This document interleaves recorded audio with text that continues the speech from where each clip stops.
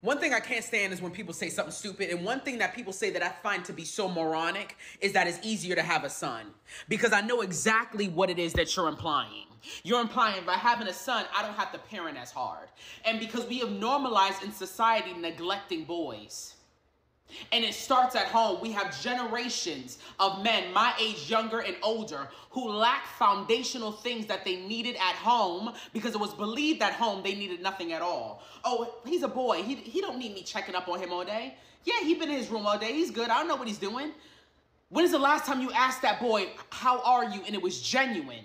When was the last time you saw your son cry about something that was really devastating? Because that's what a human being does. But oh, if he gets emotional, he need to toughen up. If your daughter cries, you rub her back.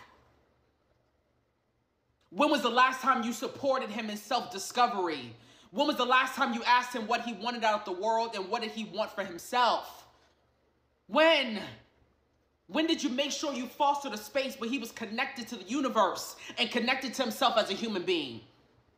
That's why we have men today who don't know how to communicate, who lack EQ, who don't know how to turn for help, who don't know how to go through things because they were never supported, they were neglected. And that's why boys, that's why young boys are the highest rates of suicide in this country. But you wouldn't dare with a daughter. You make sure she's good. You make sure you see what she's wearing so she's safe when she navigates through the world. You need to know where she at and if she's okay. If she's been in that room too long, you peeking through the door. It's only easier to have a son because with a son, you have been told that you didn't have to parent. You didn't have to do much. Just let them rock. But what they needed was to be parented like a daughter. Y'all got to relinquish that mindset because we're continuing the cycle of men not knowing how to be men and they delayed into childhood because they still needed mom to do things that mama didn't do. They still needed dad to do things that dad never did.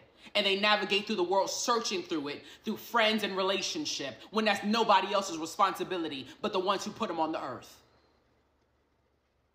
And the funny part about all of this is you always hear people say girls mature faster than boys. No, girls are supported. Girls are supported from birth. Boys are neglected at adolescence.